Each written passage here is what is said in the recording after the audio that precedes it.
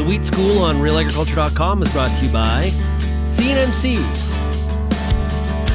Syngenta Canada, and the Alberta Wheat Commission. Welcome to Real Agriculture's Wheat School series. I'm Kara Oosterhuis. In this episode, I talked to Kelly Turkington, who is a plant pathologist with Agriculture and Agri-Food Canada in Lacombe, Alberta.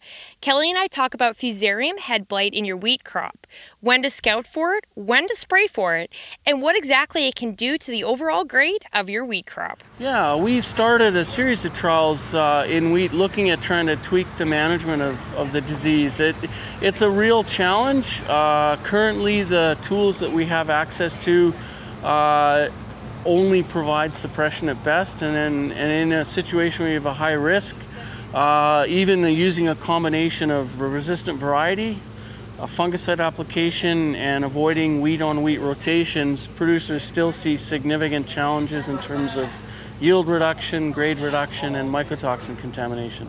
So, what does it actually uh, do for yield reduction? Do you have numbers that way? So, if you look at, at yield reductions, it really depends on the stage that the, the pathogen infects the crop. So, if it's right close to or shortly after uh, head emergence, right at the start of anthesis, the impact can be quite significant. So, you're probably looking at anywhere from 10 to 30% yield loss but more importantly, you'll have a lot of downgrading due to the presence of fusarium damaged kernels in your harvested grain.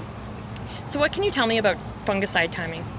So, fungicide timing, I think, is something that we may be able to look at tweaking for fusarium head blight. Uh, if you look at the current recommendations for wheat, for instance, it's the spray window starts at 75% head emergence through to about three to four days after head emergence at the start of anthesis. So where you have 50% of the main stem heads showing anthers. The issue with that window is I think it starts a bit too early. And at that stage, you still have 25% of the heads in the boot, which means that 25% of the heads, if you spray at that stage, are not protected at all. And in barley, it's, it's even worse. I think the recommended window is starts at about 70% head emergence, which means you've got 30% of the heads in the boot that are not protected. So certainly timing is important. I think the key thing to focus on is ensuring you get good application and coverage on the tissues you want to protect, so the head tissues themselves. So, what do you recommend for timing then, if not that so window? I, I would say if you look at some of the recent uh, research out of the US, some of our current uh, information that we have here, I would be uh, inclined to say don't get too eager to put on a fungicide. You, you should wait until you have full head emergence and then hit that target with uh, good application technology and a good chemical.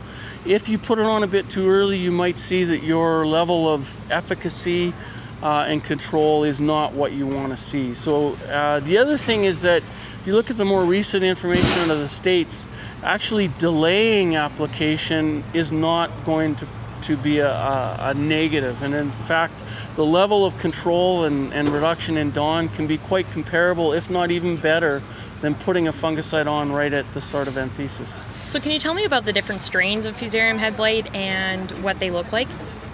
So, if you look at Fusarium in general, you look at the symptoms in the field, especially on wheat, they're quite distinct. Uh, the challenge is that often in the field you can't tell which species of, of Fusarium that you're dealing with. So, traditionally in Alberta, it would be a mixture of different species, mainly Fusarium avenaceum, Fusarium culmorum.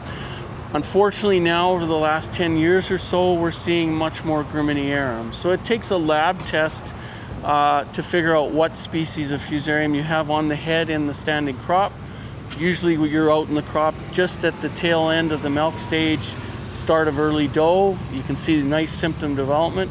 Uh, but if you're in an area where Fusarium graminearum is well established, chances are the symptoms that you're seeing are largely due to Fusarium graminearum. And what does that do for the final grade of the crop?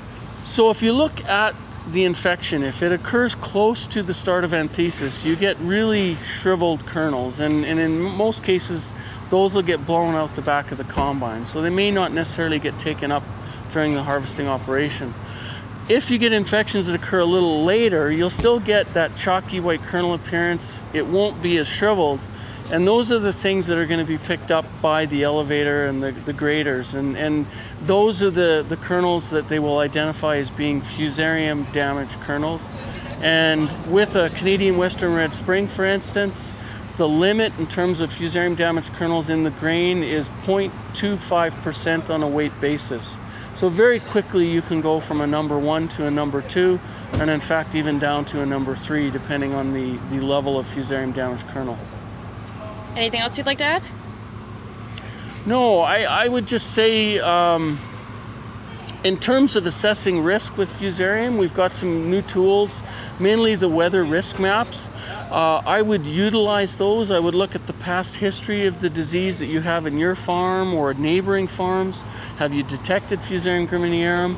And the risk maps, I would start following those once the crop is past flag leaf emergence. Not to spray at that stage, but it gives you an indication of whether there's a risk building and whether you'll need to be in that crop as soon after heading as possible to get a fungicide on. So you get prepared to, to, to pull the trigger.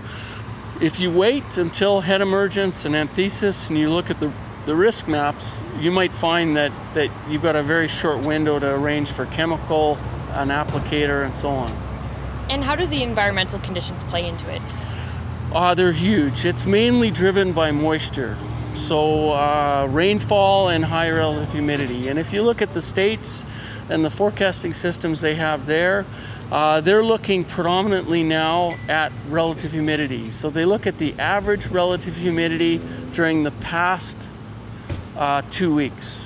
And if it's above a certain threshold, it moves from a low risk to a, a moderate risk, and then from a moderate to a high risk. Okay, awesome. Thank you very much. Very good. Thank you.